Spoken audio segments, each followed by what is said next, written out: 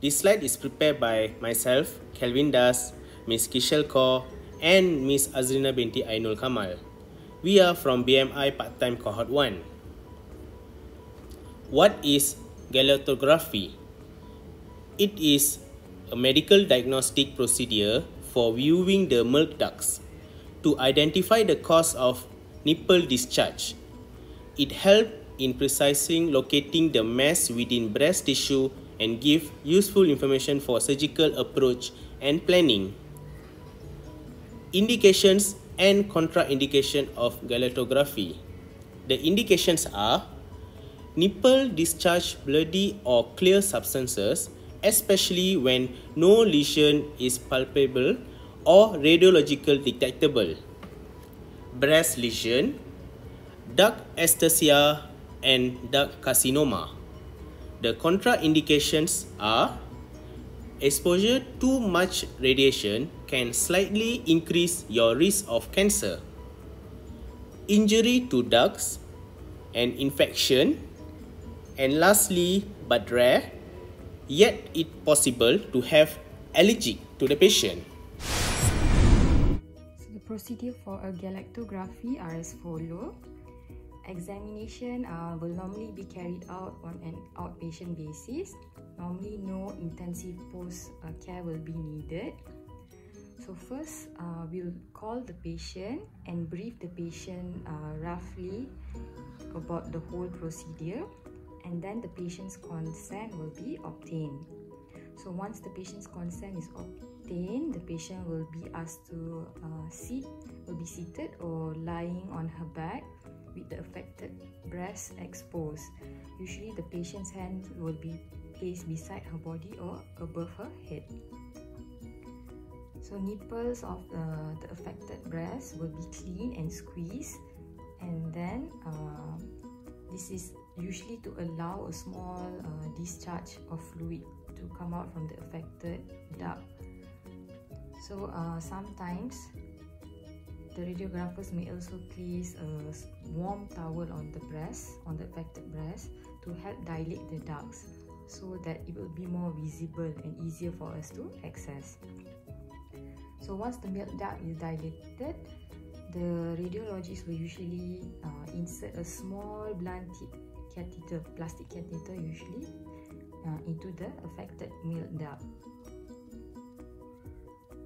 Once the milk the catheter has been placed into the milk duct we will place the patient's breast on the mammogram plate as if we are going to do a mammogram. And then a small amount of contrast will be injected through the catheter and a mammogram will be taken. So usually we'll uh, repeat this step injecting contrast and taking another mammogram a few times until the radiologist uh, has actually obtained enough information for diagnosing purpose. And usually the whole procedure will take about within 30 minutes to an hour.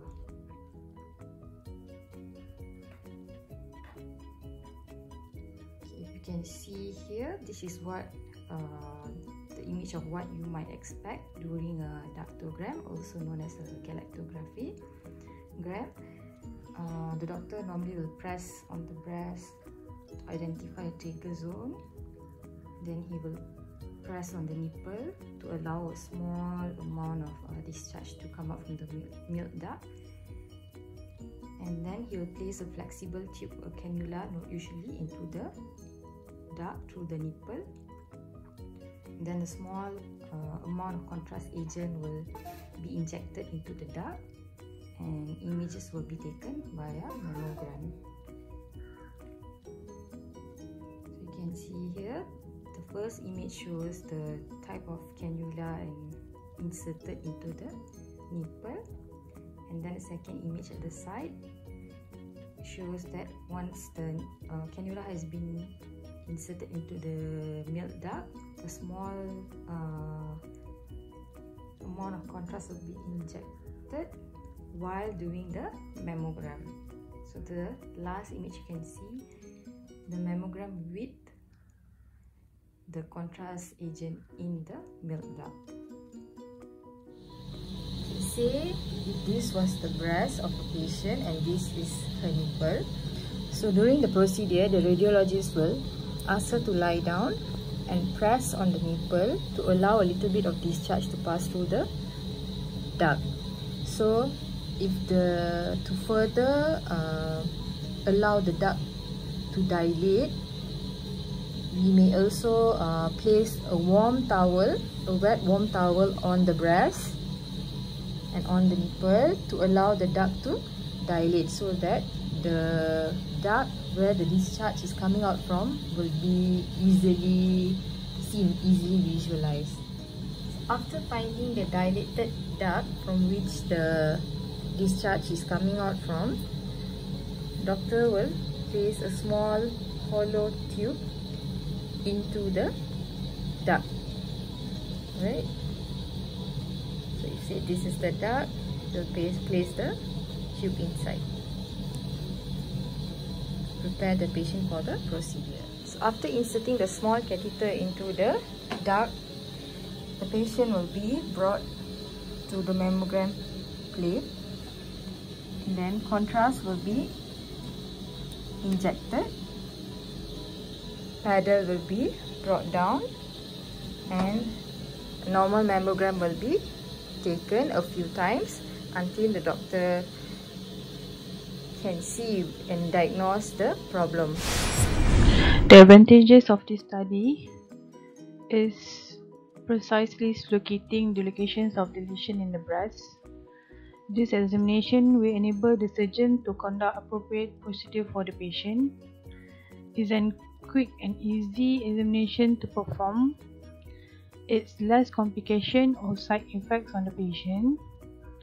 Is an is a non-invasive procedure and is less radiation used in this procedure.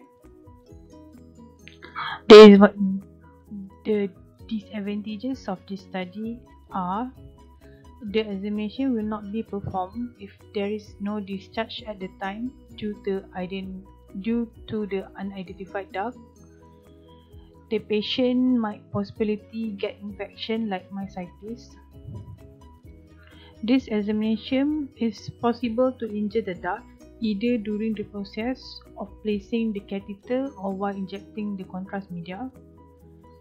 This examination may delay the diagnosis if the, if the area of concern is missed or the catheter is placed in a correct duct. A wrong diagnosis can be made if the ducts are quite small and cannot be dilated during the examination.